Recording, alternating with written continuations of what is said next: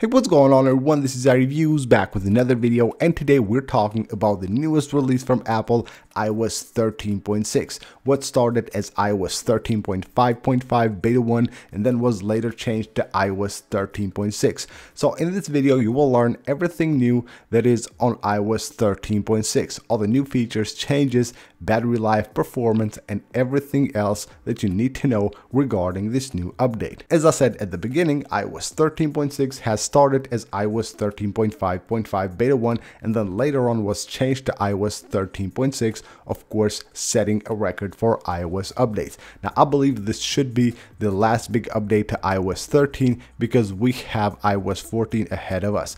Now on your device, iOS 13.6 should come at around 4 gigabytes. That of course will be different on different devices. So on this update, Apple has fixed quite a lot of bugs, quite a lot of issues, and of course we have a few new features and changes as well. So let's get started. First of all, we're going to talk about the new features, then we're going to talk about battery life, performance, and bug fixes as well. Starting things off with the settings app. When you go to settings and you go to general, go to software update, you know that you have here an option to turn on automatic updates. But now that has been changed with iOS 13.6. If you go to customize automatic updates, then now you will have two different options here. You have the option to automatically enable download iOS updates. So the iOS updates will be downloaded automatically if you enable this and they will be on your device, but won't be installed automatically until you turn on this next button right here. So you will have the option to have the update downloaded, but not installed and then of course choose whenever you want to install the update manually from your device. Now, of course if you don't want to download and also don't want to update automatically you just go ahead and turn off both of these buttons. There are a few changes on the music app as well. Now with News Plus you will be able to use audio. So here will have a new section for audio. Basically, you can listen to different articles. So you can just tap one of those and you can see you will have the player down here at the top right there. You will have a button that says playing. If you just go ahead and tap, you will be able to pause directly from there. So you tap right there to pause and unpause the basically the voice, the audio that is playing in the background. Now, if you tap here, it will show you the player. On the player, you can also change the speed of the playing right here so you can go ahead and go to 2x 1x or 1.5 and stuff like that you will have quite a lot of options right here on the player which is really really good something else that is new on iOS iOS 13.6 on the news app is that when you go to your followings you can see right here if I go to one of the topics or channels that I'm following on iOS 13.5 if you would tap here this button bar right here would, would just disappear. That won't happen with iOS 13.6 and that's really really good that Apple has done that. Now also if you go to the stores here and you swipe on one of them you will notice that the buttons have also been retouched a bit and you won't see any text beneath them. So if you swipe from the left or from the right you won't see any text beneath the buttons right here also, if we go ahead and go to news right here, we'll see that the thumbs up, thumbs down, and the arrows now are on a black color,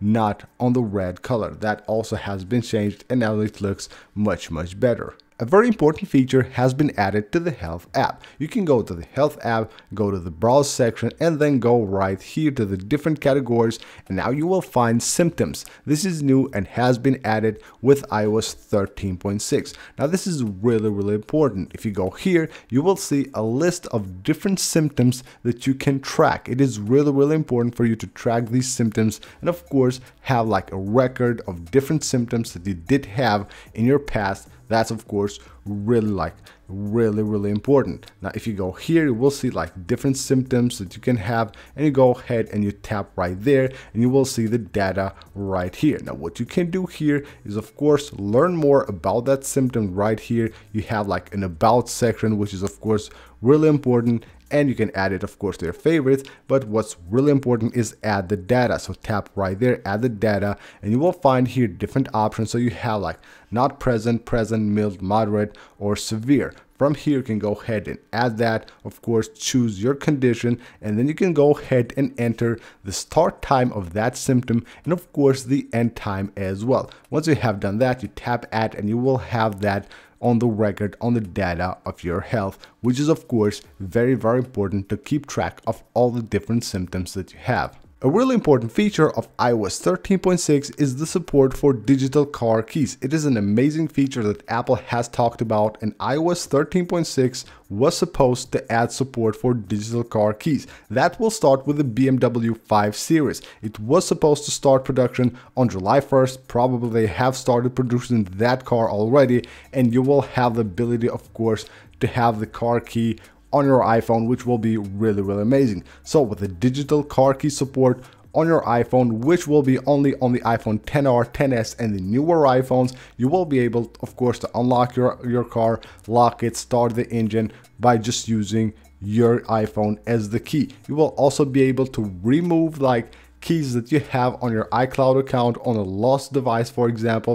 And you will also be able to share different keys using iMessage. So you want to send a key to someone that will be able to be done using iMessage, which is of course really, really cool. You can also set like driver specific profiles so you can configure shared keys. You can have full access, give full access to someone or restrict driving. That of course will be really, really amazing. And another really amazing feature is Power Reserve, which will let you unlock and start your car five hours after your iPhone has died out of battery. That's really, really amazing. Hopefully that won't happen to anyone, but it should be there on your iPhone with iOS 13.6. Again, there's no way I can demonstrate this feature I don't know whether it is present right now on iOS 13.6 or not, but it should be there. And now let's talk about battery life. Now I had this update on my iPhone 7 for quite a few days now and it has performed quite good. Now from the start of iOS 13, from iOS 13.1 up to iOS 13.6 now, I had basically the same battery life on my iPhones. Nothing that great, but not bad at all. The battery life is quite decent even with iOS 13.6. Of course, this is quite late on iOS 13 and you can expect it to be, of course, very stable and have a really good battery life. And iOS 13.6 makes no acceptance. I had like maybe a very, very slight improvement from iOS 13.5.1 on iOS 13.6. But again, battery life decent, not like anything like draining battery or stuff like that. It has been quite stable and a quite decent battery life for me here on the iPhone 7 on iOS 13.6 since beta 2 of iOS 13.6 until now the final release. And now let's talk about performance. Now, when you're talking performance, of course, on the newer devices, you will basically always have a good performance. They have all the RAM memory, all the new chips and all that, and you will get a great performance. Now, when you install an update on an older device like the iPhone 7 that I have here, then you will be able to test the performance more. Of course, I did this on my iPhone 7 and the performance is really really good. I haven't seen any like stutter, any like glitches or anything. Of course it's 13.6 so it better be stable. So a very nice, very stable and very smooth performance on iOS 13.6 iOS 13.6 will of course address a few issues and bugs that were present on iOS 13.5.1. One of them is an issue that could cause some apps to become unresponsive while syncing data to the iCloud Drive. Another one is an issue that when accessing the control center while having the assistive touch enabled would basically cause stability issues on your iPhone. It will also fix an issue that will prevent the iPhone 6s and the iPhone SE from registering for Wi-Fi calling. Also, it will fix an issue that could cause some data roaming to appear to be disabled on eSIM even though they remained enabled in the background. So that's pretty much it for this video guys. This is iOS 13.6, probably the latest big update to iOS 13 before iOS 14 comes out to the public. I hope you guys enjoyed the video. This is everything that is new on iOS 13.6, all the new features, changes, and of course, battery life, performance, and all the bug fixes. I hope you guys enjoyed the video. Leave a like if you did. Don't forget to comment and subscribe for more videos. I will see you on the next one.